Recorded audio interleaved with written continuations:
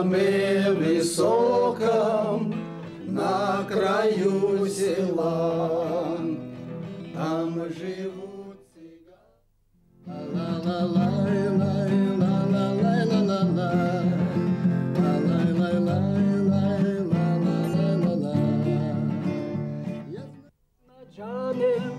Ледимеське роміганго шукаре звічини, про Христос ромік піяв саворен вічини.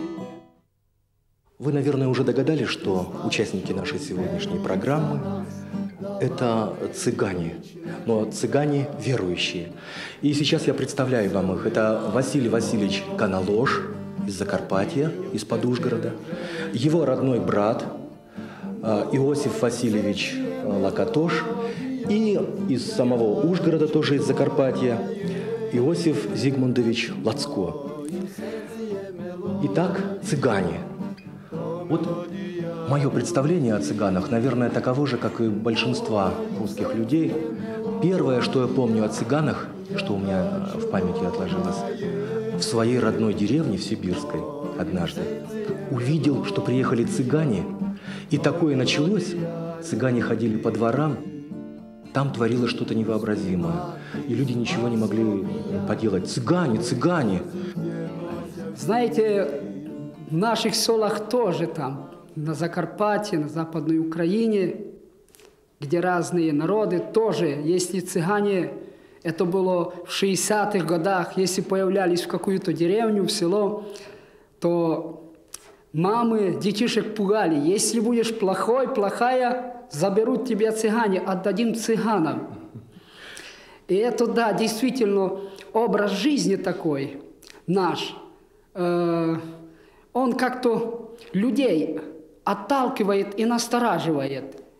Никакого общения. Я ходил в школу, сам за 8 лет на самозанной партии сидел, без ручки, без тетради, без ничего. И украинским детям говорили дома, чтобы никакого общения, контакта с нами не имели. Но вы жили табором, да? В таборе. Да, в таборе, в таборе. Это одни цыгане, маленькие избушки такие, грязно, собак много, детей много лошади раньше держали. Мы не, мы не имели никакого участия в общественной жизни села. Даже уже когда немножко подрост, э, вроде такой, как будто друг, вместе ходили. И один раз мы выпивали, и он мне задал такой вопрос. Иосиф, скажи, когда цыган человек?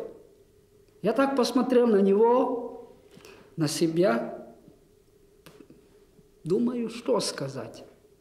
Промолчал. Но он говорит, знаешь или не знаешь? Говорю, нет, не знаю. Он говорит, когда далеко. А когда идет ближе, то сплюнет, то это не человек, это цыган. Но я хочу сказать, Господь любит цыган. Господь любит всех людей. И Господь хочет всех людей сроднить, дать правильное направление, будущность, настоящую, которая радует, утешает. Угу. И вот я бы не хотел много рассказывать, но о детстве, о том, я бы хотел рассказать, как нашел меня Господь Иисус, как я раньше имел представление о Боге. Э, в нас там в селе Закарпатье горное такое, вот брат говорит, что он был уже у нас, видел. И на такой возвышенности церковь. И один раз я зашел в эту церковь и рассматривал там такие, знаете, на, на, на плафоне картинки эти, нарисованы святые эти. И спереди стоял стол, на столе такая большая чашка или миска, и там копейки были, деньги кто что бросал. Я подошел ближе и смотрел на это. Потом этот, который возле батюшки стоял, подошел ко мне, взял меня за рукав, вывел до, до выхода, пнул меня ногой и некрасиво кричал мне вслед. Понятно. Он решил, что вы хотите, раз цыган, украсть. Да, он так подумал. И потом я э, рядом там уже с табором залез одному человеку в огород. Это уже осень была, и по земле уже яблок, яблоки были. А мы очень бедно жили. И я этим яблоками набил пазуху и перепрыгнул через забор. Он увидел меня и начал за мной бежать. А он тоже там в церкви какой-то руководитель был. А когда Рождество, они приходили к цыганам в табор э, рождественские песни петь. И когда он за мной кричал, этот человек, он мне сказал, начал меня проклинать, чтоб тебя Бог цыганский. И я убежал от него, и сразу такая мысль. Бог цыганский, какой он из себя, красивый, есть, есть Бог цыганский. Все, я уже, меня уже мысль, как бы видеть его, такой ли он красивый, как у украинцев, или такой похож на нас, как мы цыгане. А бабушке моей одна подружка там из села на козы посла там и принесла и подарила ей такую маленькую иконку. Иконка была с гипса, на ней изображен Иисус Христос, на челе терновый венок, и сердце такое, и на сердце тоже терновый венок. И она лежала на столе. А я подошел, смотрю, хм, украинский Бог, такой, как я там видел. А что он здесь делает? Украинцы нас не любят, не хотят, значит, у нас уже свой Бог, значит, в наших домах должен быть наш Бог, цыганский.